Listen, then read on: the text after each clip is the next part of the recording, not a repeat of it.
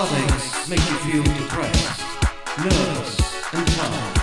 And if you're feeling like this now, allow me to help you feel even more.